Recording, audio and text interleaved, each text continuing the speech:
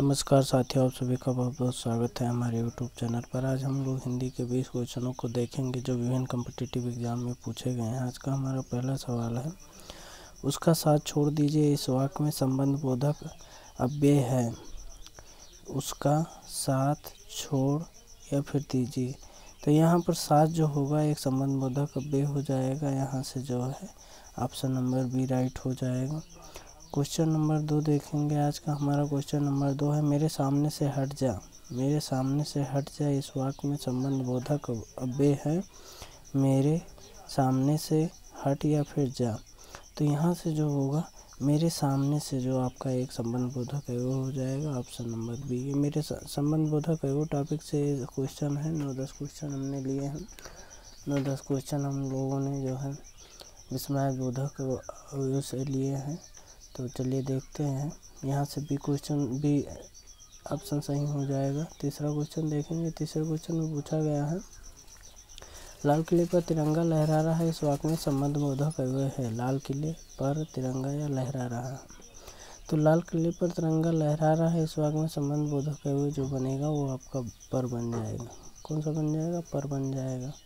लाल किले पर ये संबंध बनाने का कार्य कर रहा है। वाक्य में संबंध तो यहाँ पे संबंध बोधक हो जाएगा। ऑप्शन नंबर बी सही हो जाएगा यहाँ से। चौथा क्वेश्चन हमारा है, वीर अभिमन्यु वीर अभिमन्यु अंत तक शत्रु से लोहा लेता रहा। इस वाक्य में संबंध बोधक अवय है, वीर अंत तक बिना। तो यहाँ से जो राइट आंसर बनेगा वो तक हो जाएगा। वीर अभिमन्यु अंत तक शत्रु से लोहा लेता रहा। इस वाक्य में संबंध बोधक अवय क्या हो जाएगा? तक हो जाएगा। ऑप्शन नंबर सी सही हो गया। पाँचवा क्वेश्चन हम लोग देखेंगे। पाँचवें क्वेश्चन में पूछा गया है, तुम्हारे बिना मैं नहीं रह सकूँगा। इस वाक में संबंध बोधक है, तुम्हारे बिना मैं या फिर नहीं। तो यहाँ से जो राइट आंसर बनेगा, वो आपका हो जाएगा बिना। बिना क्या हो जाएगा? संबंध बोधक वो हो जाएगा। छठा क्वेश्चन हम लोग देखेंगे। छठे क्वेश्चन में पूछा जा रहा है, मूल रूप से संबंध बोधक एवं के भेद नहीं है। प्रयोग, अर्थ, व्युत्पत्ति या की?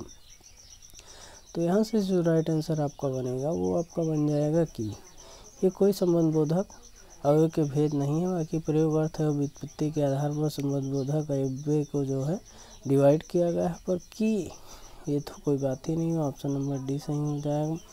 सातवां क्वेश्चन जो आपका है, प्रयोग के अनुसार संबंध बोधक अव्यय के भेद हैं। संबद्ध, अनबद्ध, ये व भी दोनों सही, ये व भी दोनों गलत।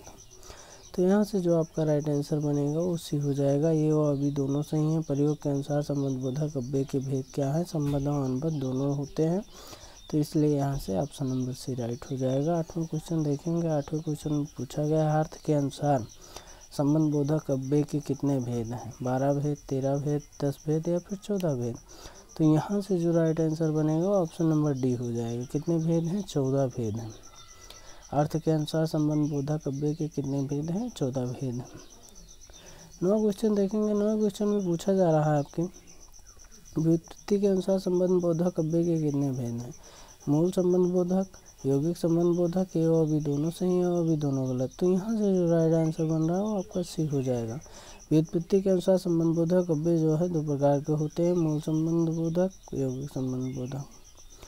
दसवां क्वेश्चन हम लोग देखेंगे। दसवें क्वेश्चन में पूछा गया, बिना प्रयत्न पूर्वक आ शब्दों का संबंध किस अव्यय से है? मूल संबंध बोधक अव्यय, सहचरवाचक, यौगिक संबंध बोधक या संग्रहवाचक? तो यहाँ से जो राइट आंसर आपका बन रहा है ऑप्शन नंबर ये बन रहा है, मूल संबंध बोधक अव्यय से ये सारे शब्द जो है संबंधित हैं।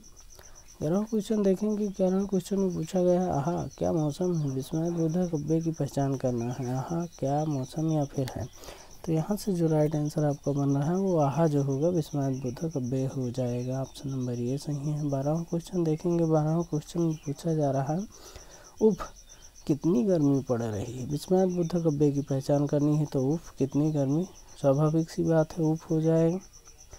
विस्मय बोधक शब्द ऑप्शन नंबर ये राइट हो जाएगा। बहुत आज का क्वेश्चन बहुत आसान है, अगर आप एक बार कॉन्सेप्ट को समझ पा रहे हैं तो बहुत अच्छे से क्वेश्चनों को कर पाएँगे। तेरहवा क्वेश्चन हम लोग देखेंगे। अरे आप आ गए विस्मय बुद्ध अव्यय की पहचान करें। अरे आप आ गए। तो यहाँ से जो विस्मय बुद्ध अव्यय बनेगा वो आपका हो जाएगा अरे ये सारे question R O R O में पूछे गए हैं। मेन टॉपिक यही होते हैं आर ओ आर ओ के। तो आप लोग विशेष ध्यान दीजिए।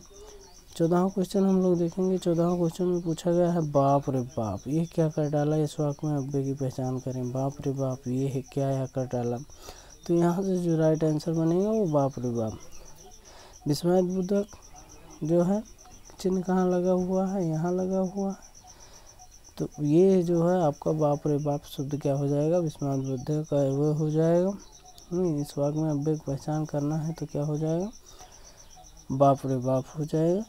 पंद्रह क्वेश्चन आपका है। छी छी, धिक्कार है तुम्हारे नाम को इस वाक में अब्बे की पहचान करना है तो क्या हो जाएगा अब्बे छी छी हो जाएगा। ऑप्शन नंबर ए यहाँ से भी राइट हो रहा है। छठा को सोलह क्वेश्चन देखेंगे। सोलह क्वेश्चन में पूछा जा रहा है। सोलह क्वेश्चन में पूछा जा रहा है, करो या मरो, इस वाक्य की पहचान करें। संयोजक, विभाजक, विकल्प सूचक या करो। तो करो या मरो, इस वाक्य की पहचान करने में क्या बताना है आपको? करो या मरो, ये क्या सहयोग करा रहा है यहाँ पे जो है? विभाजक की बात कर रहा है। या तो करो या मरो तो यहाँ पे जो ऑप्शन नंबर बी राइट हो जाएगा। सत्रह क्वेश्चन में पूछा गया है। अब आप जा सकते हैं वाक्य क्रिया विशेषण की पहचान करें। अब आप यह जा, ये सकते हैं। तो यहाँ से जो राइट आंसर बनेगा, वो अब होगा। अब क्या हो जाएगा? क्रिया विशेषण की हो जाएगा। तो ऑप्शन नंबर ए यहाँ से राइट हो जाएगा। अठारह क्वेश्चन देखेंगे। अठारह क्वेश्चन में पूछा जा रहा है, वाह। वाह, खूब रहा है इस वाक्य में की पहचान करें। वाह वाह, खूब रहा या वाह। तो यहाँ से जो राइट आंसर आपका बन रहा है, वो वाह वाह हो जाएगा।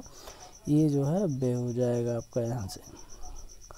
उन्नीसवा क्वेश्चन आपका है मनुष्य मृत को असुंदर ही नहीं डाट डाट भी मानता है, यानी अनिवार्य, सुंदर त्याज या अपवित्र।